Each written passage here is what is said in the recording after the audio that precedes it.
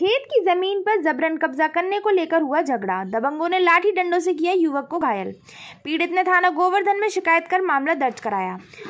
मामला थाना गोवर्धन के अंतर्गत मनसराय गाँव का है। दबंगों के द्वारा सतीश के खेत पर जबरन कब्जा किया जा रहा था, जिसका विरोध खेत पर पहुंचकर सतीश ने किया तो दबंगों के द्वारा सतीश के ऊपर लाठी डंडों से प्रहार कर दिया।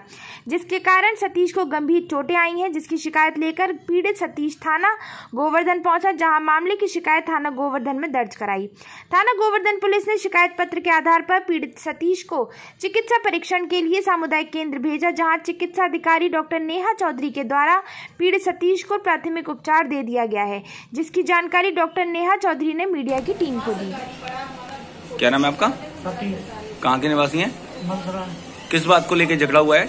हमारी ज़मीन पे कब्जा कर रहे हम दिन डिनाई कर रहे कोई डंडा मार दिया कौन लोग हैं? हमारे पड़ोसी हैं। तो इसकी शिकायत आपने थाना गोवर्धन में दर्ज कराई? वहाँ भी आया हूँ धक्के वहाँ से अच्छा। तो कित, कितने लोग घायल हुए हैं?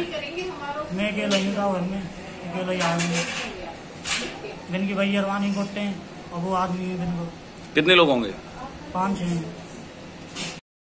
मैम जैसा कि अभी एक मामला आया है यहाँ पे जिस घायल को चोट लगी हुई है क्या मामला है एक पुलिसकर्मी द्वारा एक व्यक्ति को लाया गया है जिसका नाम सतीश है मलसराय का निवासी है। किसी झगड़े को लेकर उसके सर में चोट आई है कोई गंभीर चोटें नहीं है हमने उसको प्राथमिक उपचार दे दिया।